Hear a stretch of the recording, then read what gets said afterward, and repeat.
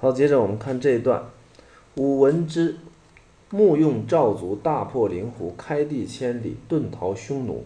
我听说李牧带领赵国的士兵，然后大破了灵狐，然后呢开疆拓土，赶跑了这个匈奴。这个李牧是战国末年赵国的名将啊，长期防守在在赵国的北边，然后打败了东胡，然后降降服了灵狐啊，使匈匈奴啊赶得很远，十余年都不敢再接近赵国的边境啊。灵狐呢，它是匈奴的一种啊，匈匈奴的一个一个直线啊。接着，汉清天下，财旦利铺，这里边有个铺，铺呢本意是病的意思。这个字念铺啊，它本意是病的意思，在这里引申为疲惫啊，疲惫。也就是说，汉朝呢，当时动用了全国的人力物力，却落得个财尽民枯啊，任人而已，其在多乎？然后可见呢，只要用人得得当啊，不在兵的多少啊。追逐咸允，咸允呢，指的是这个周朝的时候驱逐咸允，咸允就是后来汉代的时候的匈奴啊。北至太原，继承朔方，全师而还。北边呢，达到了太原，打到了太原，然后在朔方呢筑了一座城，就全军凯旋。这个朔方大致在今天的鄂尔多斯附近啊，这是指范围。全师而还。那么呢，最后全军呢都归还了。引至策勋，何乐且贤。策勋的意思是把功劳啊记载下来啊，因为策呢本本意是珠片或者木木片啊，所以叫策，然后就把这功劳啊都记载下来了。何乐且贤，就是告捷套庙的这个太庙，然后功劳呢载入了史册，君臣之间和乐悠闲。木木地地，君臣之间，木木木木的意思是和平恭敬的样子，地地呢是指雍容娴雅的样子，它描写的都是人的状态啊。状态是什么呢？谦恭文雅，然后大家相互君臣之间相互尊重。秦起长城，静海为关，荼毒生灵万里诸阴。那么，呃，秦朝呢修建了万里长城，关塞呢一直到海边。这里静海，静海就是一直到的意思，一直到海边。百姓呢遭受了摧残，万里长城啊沾满了血迹，所以叫万里朱茵。朱茵嘛就是。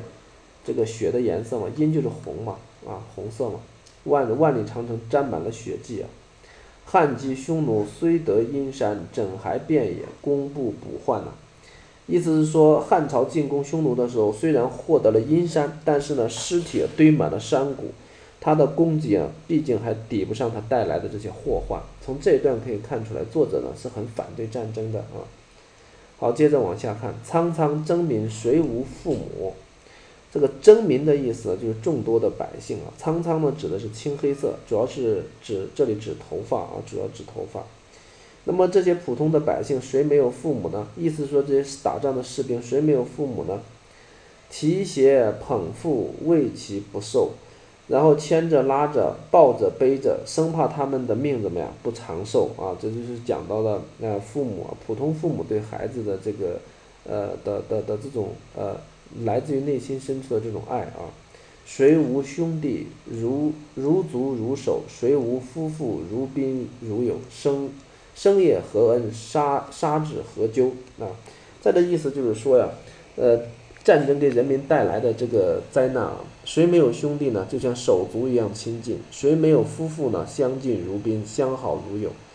当他活着受了什么恩，然后杀死他又是犯了什么罪了？就是说他们死的都很无辜啊。其存其母，家莫闻之。他们的生和死，家里的人一点都不知道。人或有言，将信将疑。有人说起的时候呢，也是将信将疑啊。涓涓心目，寝寐见之。涓涓指的是忧忧闷的样子，忧郁的样子啊。然后因为家里人去打仗嘛啊，那么在家的那些亲人就很忧，就很忧虑啊，就很忧虑。就非常忧虑啊，涓涓心寝，这个寝寐见之啊，寝寐见之，指的是这个呃睡梦里边都会经常梦见这个出征的这个亲属，布垫轻伤，哭望天涯，白舍祭品，布垫的意思就是把祭品都摆舍下了啊，然后这个呃，然后望着远方放声大哭，因为见不到人，天地为愁，草木凄悲。天地为他们忧愁，草木为他们凄楚。吊祭不至，精魂合一。吊祭不到的时候，灵魂依托在哪里呢？必有凶年，人其流离，就是战后啊，必然就会有凶年，人们接着又要怎么样？四散流离啊！这个战争跟活着人和死了人都带来了巨大的哀伤。呜呼！亦兮时也，命也，从古如斯。呃，可怜呐，时机不好呢，还是命运不济呢？然而从古以来都是这样子的。啊，能有什么办法呢？未之奈何，守在四夷。只有行施仁义，规划四夷，才能够让他们替天子来守卫疆域。这个最后有一个叫守在四夷。守在四夷呢是一个典故，它来自于《左传》昭公二十三年。呃，《左传》当中有一句话叫“古者天子守在四夷”。这个主这句话主要是说呢，天子要主要用仁德，要使四方归附，那么大那么大家都会为天子来守卫国土，那么就没有战争的祸患了。所以这里边呢讲了一个仁德之重要，啊仁德，不要动不动就呃进行战争，然后把事情都诉诉诸于武力啊。所以说整篇文章我们做一个简单的小结，这篇文章呢就是通过对古战场的这种比较详细的描绘。抒发了作者这种厌战、反战的情绪，就是第一个是厌，就讨厌战争；第二个呢是反对战争。你既然讨厌，肯定是反战的啊。然后论述了秦汉以来的这种开边战争啊，啊开边战争，那么大规模的战争给人民带来的这种财产的损失，还有这种命运的损失啊。其实他从侧面来谴责这个唐王朝啊穷兵黩武的这样的政策。那么从写作特点上来看呢，就是他兼具聘文和这个附体的这个共同的特征，所以呢，但是语言呢相对来讲还是比较明白流畅的，比较读起来还是比较朗朗上口的。